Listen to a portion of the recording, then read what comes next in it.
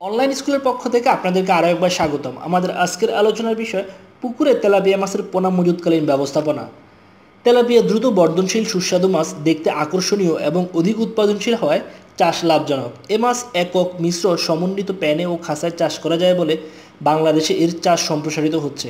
বাংলাদেশে পাঁচ ধরনের তেলাপিয়া চাষ করা হয়, যেমন মোজাম্বিক তেলাপিয়া, নাইল তেলাপিয়া, লাল তেলাপিয়া, গিফট তেলাপিয়া এবং মনোসেক্স তেলাপিয়া। তন্মধ্যে বিশুদ্ধ জাতের গিফট তেলাপিয়া অধিক উৎপাদনশীল হয় চাষি ও খামারিদের কাছে এই মাছ ব্যাপকভাবে জনপ্রিয়তা লাভ করেছে। গিফট তেলাপিয়া থেকে উৎপাদিত মনোসেক্স, অর্থাৎ এক লিঙ্গ পুরুষ তেলাপিয়া আরও দ্রুত বর্ধনশীল হয় এর চাষ ব্যবস্থাপনা ব্যাপকভাবে সম্প্রসারিত হয়েছে।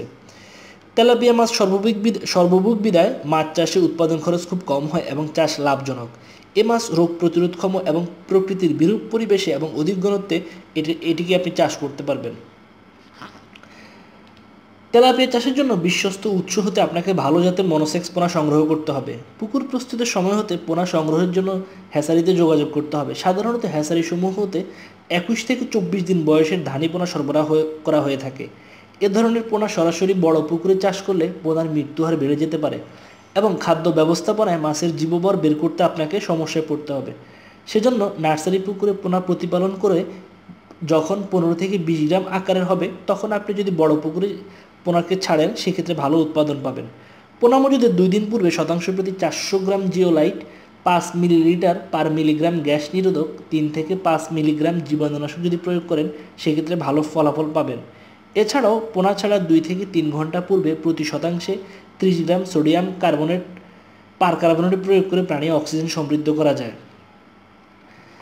তেলাপিয়া চাষে খাদ্য ব্যবস্থাপনা একটি গুরুত্বপূর্ণ বিষয়, কারণ তেলাপিয়া চাষ সম্পূর্ণরূপে সম্পূরক খাদ্যের উপর নির্ভরশীল। এটি বাণিজ্যিক মৎস্য খামারের প্রায় ষাট ভাগ ব্যয় হয় মাছের খাদ্য ক্রয়ে। অর্থাৎ আপনি যদি তেলাপিয়া মাছ চাষ করতে যান অথবা যে কোনো মাছ চাষ করতে যান, আপনাকে আপনার মোট ব্যয়ের ষাট ভাগ ব্যয় করতে হবে খাদ্য ক্রয়ে। এক্ষেত্রে সহজে বোঝা যায় যে লাভজনকভাবে খামার পরিচালনার ক্ষেত্রে খাদ্যের গুণাগুণ অত্যন্ত গুরুত্বপূর্ণ। তেলাপিয়ার খাদ্যে ত্রিশ থেকে পঁয়ত্রিশ ভাগ আমিষ থাকা বাঞ্ছনীয়।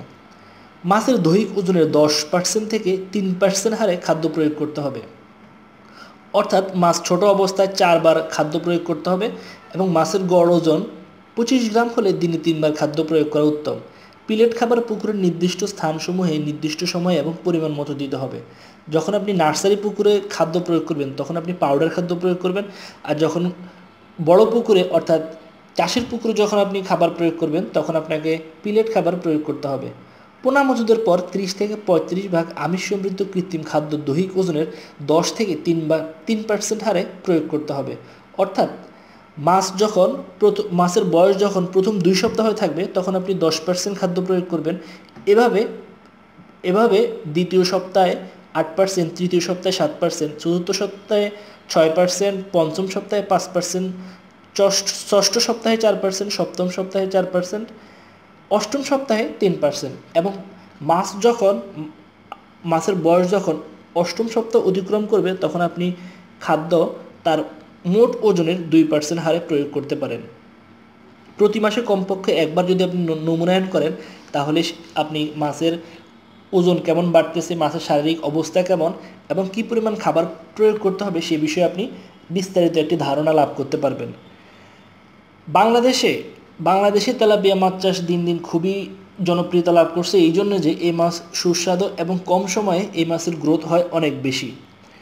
উচ্চ আমিষ সমৃদ্ধ খাদ্য প্রয়োগের পাশাপাশি অ্যারেটর অথবা পানির ঝর্ণা দিয়ে অক্সিজেন বাড়িয়ে খাদ্যর পরিপাক্রিয়া বৃদ্ধি করুন। অন্যথায় উচ্ছিষ্ট খাদ্যের প্রচুর ক্রিয়ায় মাছ মারা যেতে পারে। আমাদের আলোচনা আজকে পর্যন্ত, আজকে এটুক পর্যন্তই। আপনাদের যদি এই বিষয়ে কোনো জিজ্ঞাসা থাকে, তাহলে আমাকে মেইল করতে পারেন অথবা আমাকে স্কাইপিতে প্রশ্ন করতে পারেন।